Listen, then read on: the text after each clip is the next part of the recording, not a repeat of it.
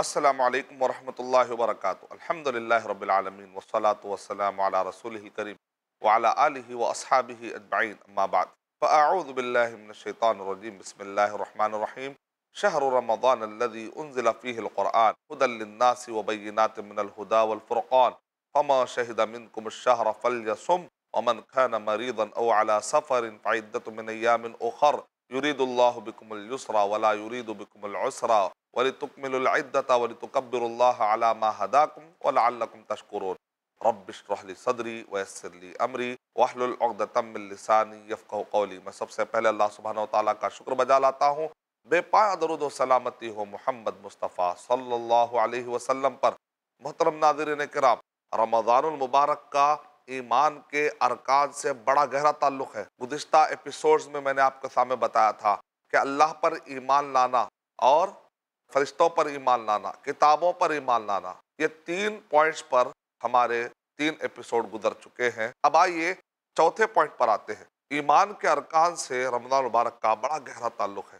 انتؤمن باللہ و ملائکتی و کتبی و رسولی یعنی تنزل الملائکت و روح کہہ کر اشارہ کیا گیا اور تعلیم دی گئی کہ لیت القدر میں فرشتے بہت نازل ہوتے ہیں اور فجر تک رہتے ہیں اور اسی طریقے سے جبر صلاۃ والسلام بھی مطلب فرشتوں کا رمضان المبارک میں بڑا گہرا تعلق ہے۔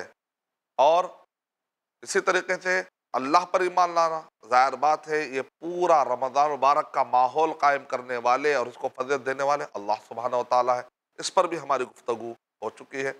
وہ کتب ہی جتنے آسمانی کتابیں نازل ہوئی وہ رمضان مبارک میں ہے اب آئیے ہم اس کے ڈیٹیل میں نے گزشتہ ایپیسوڈ میں بتا دیے ہیں چوتھا پوائنٹ ہے انتؤمن باللہ و ملائکتی ہی و کتبی و رسولی ہی رسولوں کا بھی بڑا گہرا تعلق رمضان المبارک سے ہے۔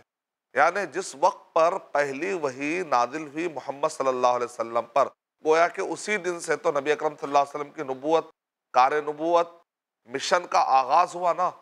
تو ایک معنی میں رسول اللہ صلی اللہ علیہ وسلم کو ایز رسول کا انتخاب جو ہوا وہ رمضان مبارک میں ہوا۔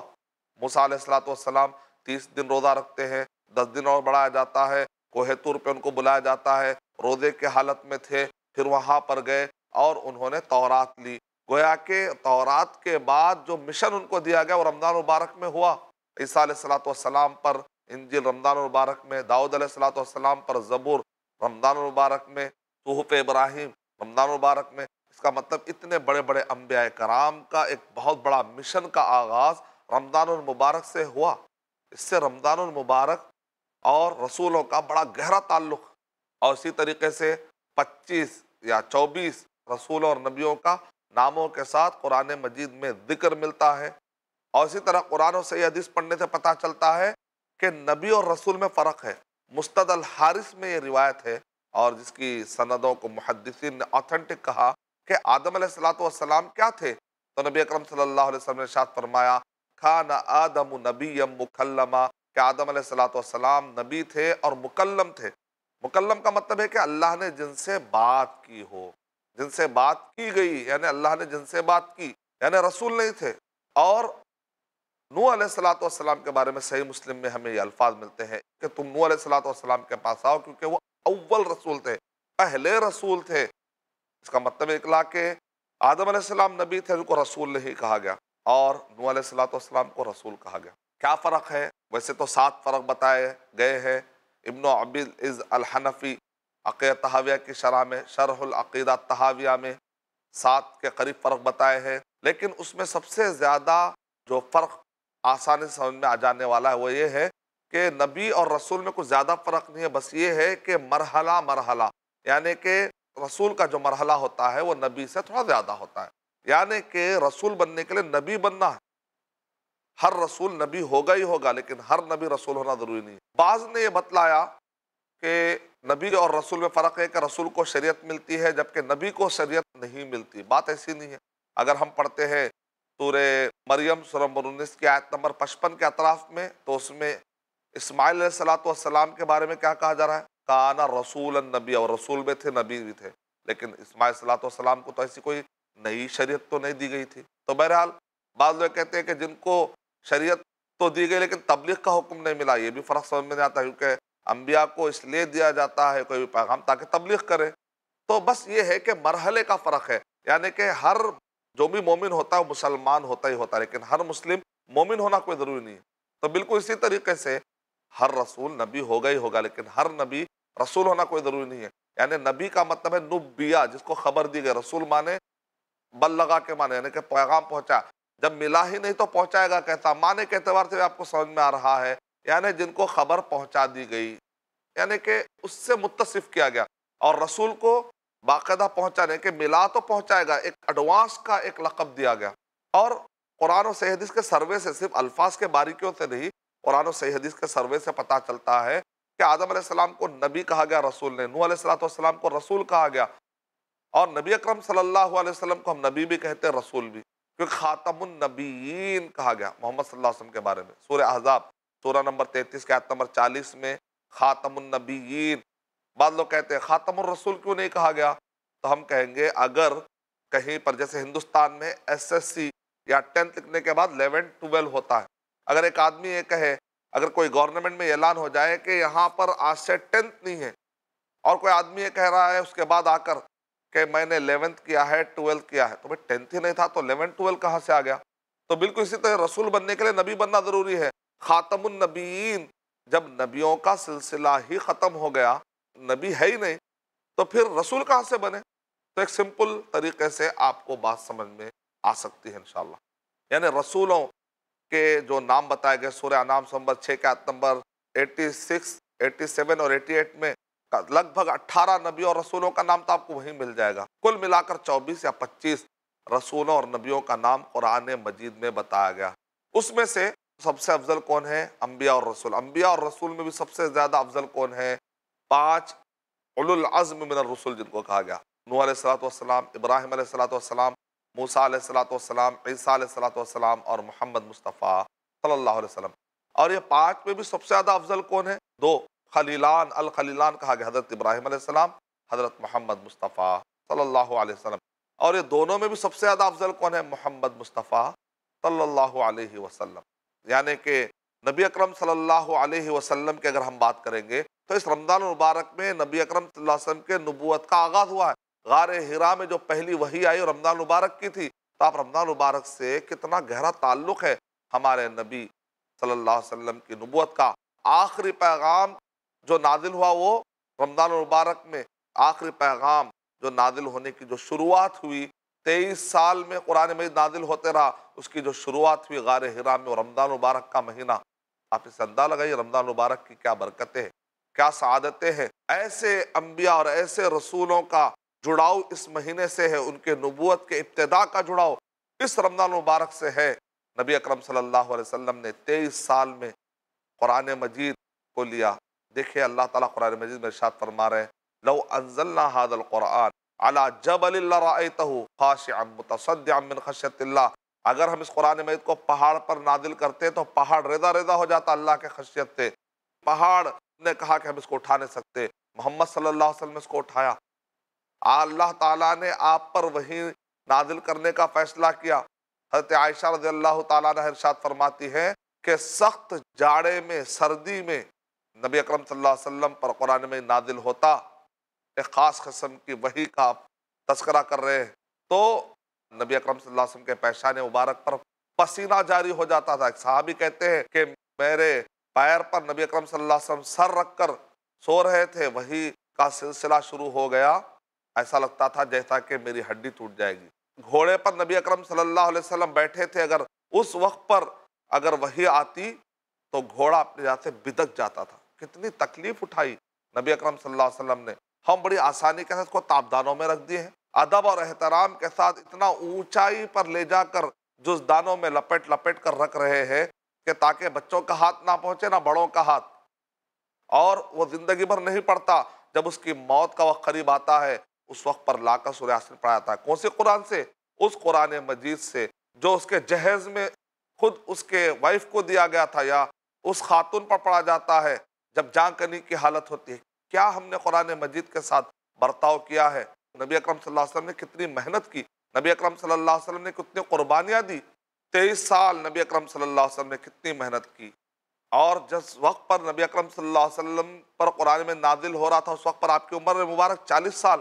چالیس سال کے بعد آپ نے قرآن مجید یاد کرنا شروع کیا۔ اللہ تعالیٰ نے یاد کروایا۔ کئی صحابہ تھے جنہوں نے یہ عمر میں قرآن مجید یاد کرنا شروع کیا اور ترسٹھ سال تک یاد کرتے رہے۔ ہمارے پاس لوگ کہتے ہیں، ہم بڑے ہو گئے، بیس سال کے بچے کہہ رہے ہم بڑے ہو گئے قرآن یاد نہیں ہوتا۔ تیس سال کے بچے کہہ رہے یا ترسٹھ سال سکسٹی تھری ایئرس تک قرآن مجید کا یاد کرنے کا سلسلہ جاری ہے۔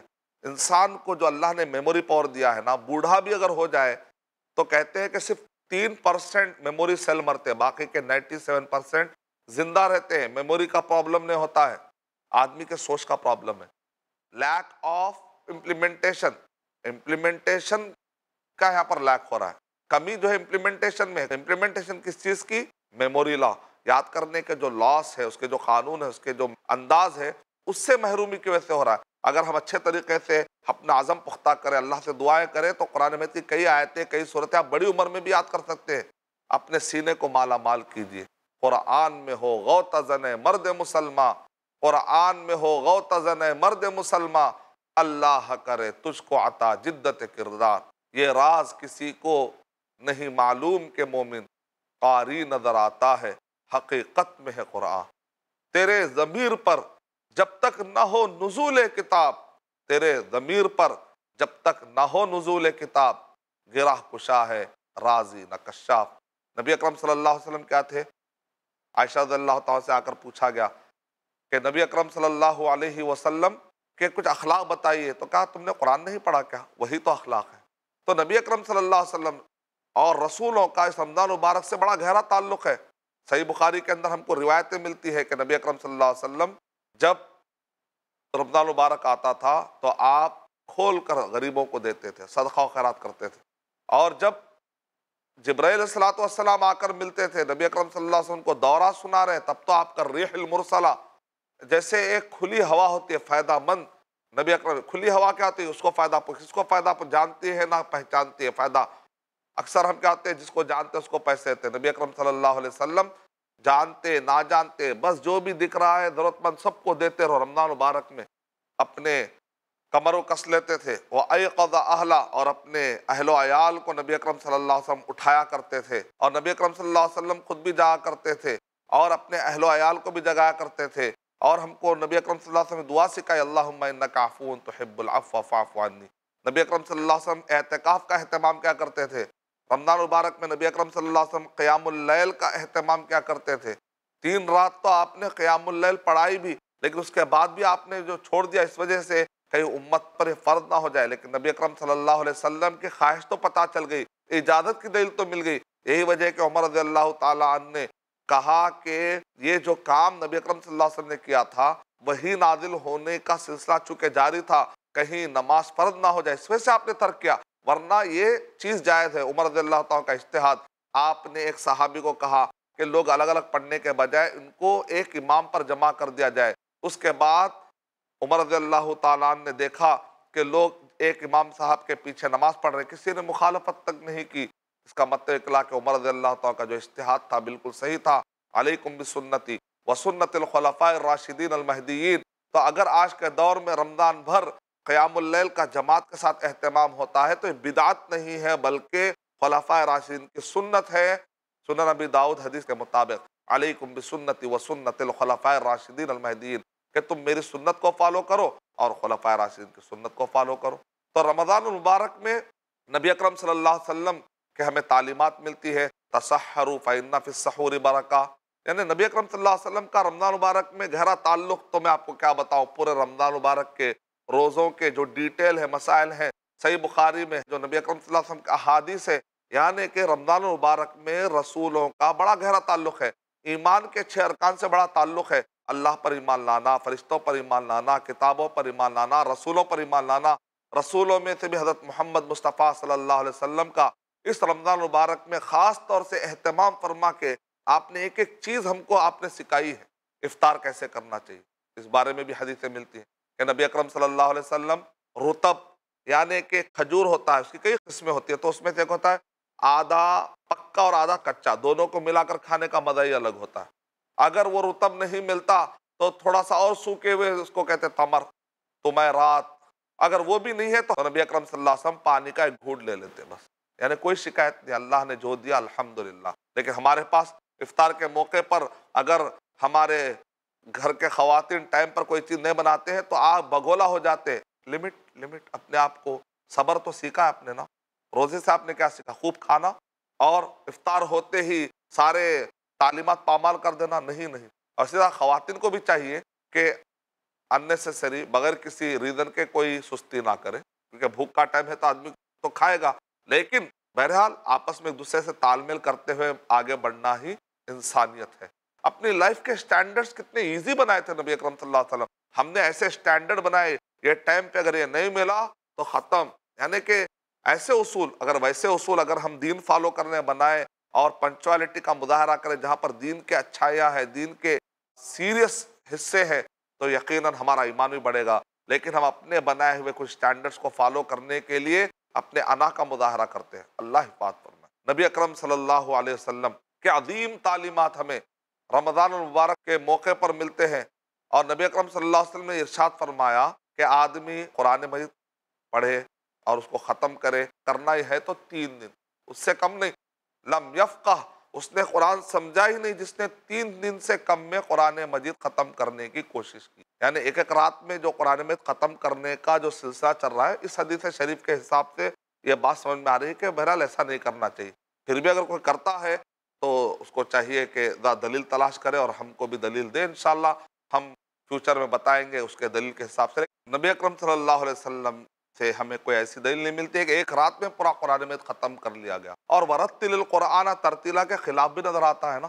قرآن میں جب پڑھا جائے تو اس کی پوری رعایت کر کے پڑھنا چاہیے، ترتیل کے ساتھ پڑھنا چاہیے، اس کے تجوید کے قاعدوں کے ساتھ پڑھنا چاہیے۔ آپ نے ختم کرنے کی نیت سے پڑھے ایک رات میں قرآن میں ختم کرتے پھر انتیس دن قرآن مجید کی طرف پلٹ کر دیکھتے نہیں، تو کیا ہے؟ قرآن مجید کا مہینہ ہم کہہ سکتے ہیں کیا؟ اور اس کے بعد کہتے ہیں کاروبار میں ہم لگ جائیں گے۔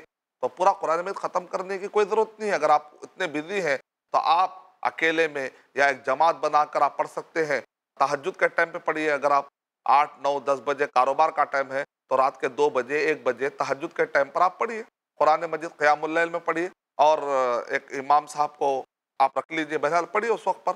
لیکن اگر کوئی کہتا ہے کہ نہیں، میں تراوی کے ٹائم پر ہی پڑھنا چاہ رہا ہوں، ٹھیک ہے، گیارہ بجے پڑھیے دس گیارہ بجے پڑھیے تھوڑا اور تلا کر، یا قرآن مجید بہرحال ختم کرنا تو کوئی ضروری نہیں ہے نا۔ تو قرآن مجید کو جلدی جلدی پڑھنے کی وجہ سے اس کی بے ادبی ہونے کا چانس قرآن مجید اور رسولوں کا چونکہ ذکر چل رہا ہے، ایک ٹپ بتاتا ہوں کہ کیسے قرآن مجید کو ہم پڑھ سکتے ہیں کہ جب بھی ہم نماز پڑھنے جا رہے ہیں تو تصور یہ کریے کہ آپ فجر کو جا رہے ہیں۔ تو فجر کو جب بھی جائیں گے ایک پارا پڑھ لیجیے آپ۔ ایک پارا پڑھ لیجیے۔ ظہر میں ایک پارا پھر عصر میں ایک پارا مغرب میں ایک پارا عشاء میں۔ تو کتنے ہو گئے؟ ایک دن میں پانچ پارے ہو گئے۔ تو اس طریقے سے پانچ پانچ، دس، پھر اس کا چھ دن میں قرآن مجید آپ کا یہ ختم ہو سکتا ہے۔ تو اگر آپ ایک دن میں پانچ پارے اگر آپ پڑھ لیے، یا اسی طریقے سے آپ نے اگر پہلے ایک پارا اور بعد میں ایک پارا اگر آپ نے پڑھ لیا، تو ایک دن کے اندر دس پارے ہو گئے۔